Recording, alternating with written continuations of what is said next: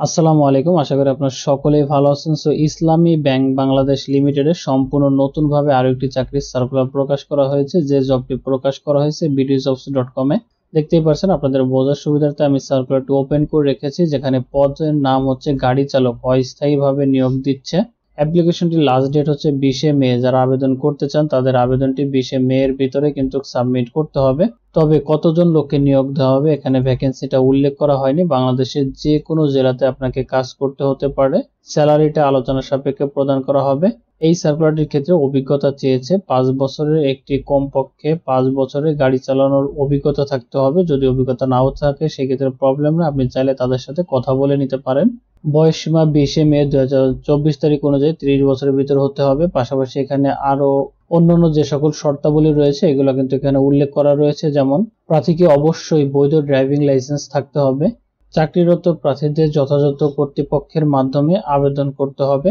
Field বা practical মৌখিক পরীক্ষার জন্য কোনো ভ্রমণ ভাতা বা দৈনিক ভাতা প্রদান করা হবে না। এই পদে শুধুমাত্র পুরুষ প্রার্থীগণ আবেদন করতে পারবেন। নিয়োগ পরীক্ষার সকল পর্যায়ে একই ধরনের স্বাক্ষর ও ছবি প্রদান করতে হবে। নির্বাচিত প্রার্থীকে ব্যাংকের যে কোনো অফিস বা শাখায় চাকরি করার মানসিকতা থাকতে হবে। এখানে বেতনটি ব্যাংকের বিদ্যমান বিধি অনুযায়ী ধরা হবে। ফুল টাইম এখানে কাজ করতে হবে। আগেই বলেছি, বাংলাদেশের যে কোনো স্থানে বা যে কোনো শাখাতে কিন্তু কাজ করতে হতে পারে।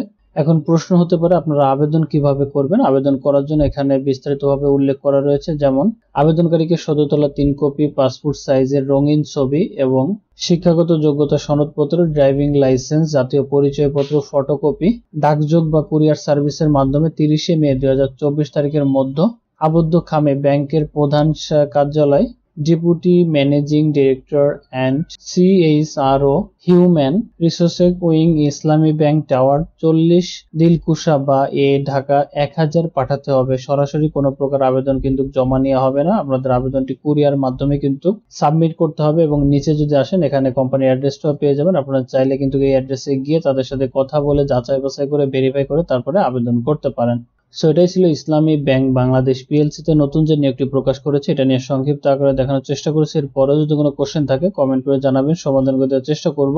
ভিডিওটি এখানে শেষ করছি, আবারও ফিরে আসব নতুন কোনো চাকরির সার্কুলার নিয়ে। ততদিন সময় ভালো থাকবেন, আল্লাহ হাফেজ।